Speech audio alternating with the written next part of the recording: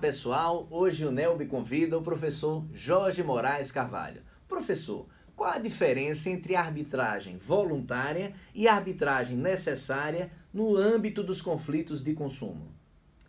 Arbitragem, os centros de arbitragem de conflitos de consumo que existem em Portugal resolvem os litígios que são iniciados pelo consumidor.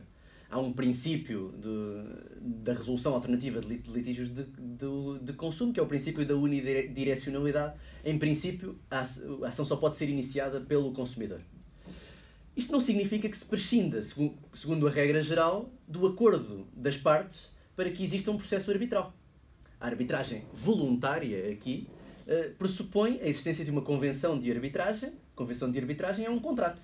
Um contrato celebrado entre as duas partes que pressupõe que, pressupõe que existe acordo quanto a submeter aquele litígio à arbitragem. O que é que acontece nos litígios de consumo? As empresas muitas vezes sabem que, se não aceitarem ir para a arbitragem, eh, aquela questão não, não, não vai ser resolvida. Porque o consumidor não vai iniciar um processo nos tribunais judiciais. É caro, é lento, é demasiado formal e, portanto, a questão acaba por ficar por, ficar por, por aí. O que leva muitas vezes as empresas a não aderir aos centros, a não aceitar a arbitragem. Eu acho que é uma estratégia errada, porque a estratégia de satisfação do, do, do cliente é a melhor. Não é? O que é que aconteceu? O legislador, percebendo isso, em relação a alguns serviços, em relação ao fornecimento de alguns bens e em relação a alguns serviços, eh, adotou um mecanismo de arbitragem necessária, é a designação da, da lei, na minha perspectiva não é arbitragem necessária, é uma arbitragem putestativa, é atribuído ao consumidor um direito putestativo, se assim entender, recorrer à arbitragem para a resolução do litígio. O que é que distingue da, da arbitragem voluntária pura? É que a empresa não tem a possibilidade de se opor, se o consumidor quiser, a que o litígio seja resolvido em arbitragem. Que litígios são estes? Bem, até são os mais frequentes.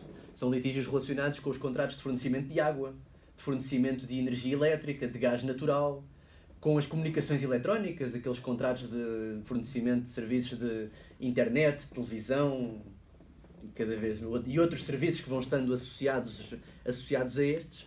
Com este mecanismo, o que é que se permite? Que o consumidor tenha uma decisão por um tribunal, se ele assim entender, e em princípio terá grande vantagem em aderir, em, em iniciar um processo de arbitragem num destes centros, porque não tem custos, é mais rápido, é menos formal, entende melhor o procedimento. Se o consumidor assim o entender, inicia o, o processo neste centro e vai ter uma decisão arbitral, sem custos ou a custos muito reduzidos. Professor, muito obrigado. Até a próxima.